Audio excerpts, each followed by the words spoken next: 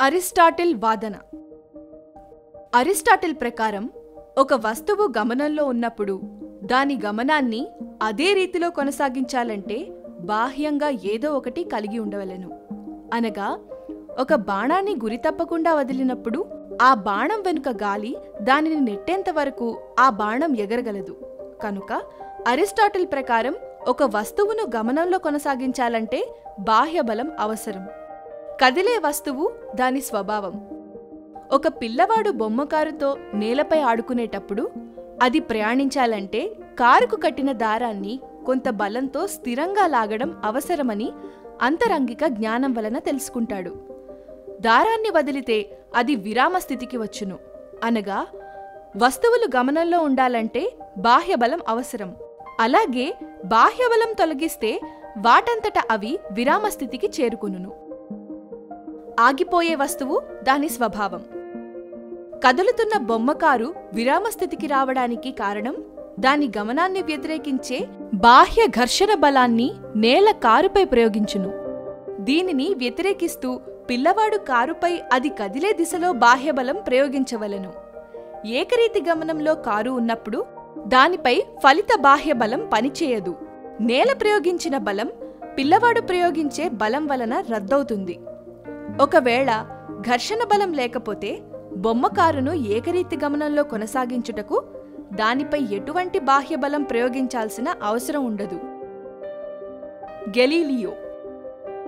వాలుతలంపై వస్తువుల గమనాన్ని గెలీలియో అధ్యయనం చేసెను. వస్తువు వాలుతలంపై క్రిందికి జారుతున్నప్పుడు ధనత్వరణం కలిగి ఉండును. వస్తువు పైకి పోయేటప్పుడు రుణత్వరణం కలిగి ఉండును. వస్తువు క్షితిజ సమాంతర తలంపై గమనం మాధ్యమిక పరిస్థితి. ఘర్షణ లేని క్షితిజ సమాంతర తలంపై చలించే వస్తువుకు ధన రుణత్వరణం రెండూ ఉండవు అని గెలీలియో ఆలోచన. దీనికి కారణం అతను రెండు వైపులా వాలు తలాలు గల బల్లను ఉపయోగించి ప్రయోగం నిర్వహించెను. బల్ల యొక్క రెండు వాల తలాల్లో ఏదైనా ఒక తలం నుండి ఒక బంతిని విరామ స్థితి నుండి జారవిడిస్తే అది దొర్లుకుంటూ కిందకి పోయి మరొక తలంపైకి ఎగబాకును. ఒకవేళ తలాలు నునుపుగా ఉంటే బంతి చేరే తుది ఎత్తు దాదాపు తొలి ఎత్తుకు సమానంగా ఉండును.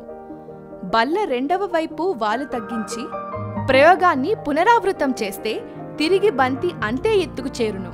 కాని అలా చేయడానికి బంతి చాలా దూరం ప్రయాణించును. ఒకవేళ బల్ల రెండవ కొనవాలు శూన్యమైతే బంతి అనంత దూరం ప్రయాణించును. నిజానికి బంతి క్షితిజ సమాంతర తలంపై పరిమిత దూరం ప్రయాణించిన తరువాత ఆగిపోగలదు. ఎందుకంటే దాని గమనాన్ని వ్యతిరేకించే ఘర్షణ బలాన్ని పూర్తిగా తొలగించలేము. ఒకవేళ ఘర్షణ బలం లేనట్లయితే క్షితిజ సమాంతర తలంపై బంతి స్థిర వేగంతో గమనాన్ని కొనసాగించును. న్యూటన్. న్యూటన్ గెలీలియో భావాల ఆధారంగా మూడు గమన నియమాల పరంగా యాంత్రిక శాస్త్రానికి పునాది వేశాడు. విరామ స్థితి ఏకరీతి రేఖీయ చలన స్థితి రెండూ తుల్యమైనవి. రెండు సందర్భాలలో వస్తువుపై పనిచేసే బలం నికరంగా ఉండదు. ఒక వస్తువును ఏకరీతి గమనంలో కొనసాగించాలంటే ఘర్షణ బలాన్ని ఎదుర్కోవడానికి ఘర్షణ బలం ప్రయోగించాల్సిన బాహ్య బలం కలిసి ఫలిత బాహ్య బలం శూన్యమయ్యే విధంగా బాహ్య బలం ప్రయోగించవలసి ఉండును. ఒకవేళ నికర బలం శూన్యమైతే విరామ స్థితిలో ఉన్న వస్తువు విరామ స్థితిలో కొనసాగడానికి గమనంలో ఉన్న వస్తువు సమవేగంలో గమనంలోనే కొనసాగడానికి ప్రయత్నించును.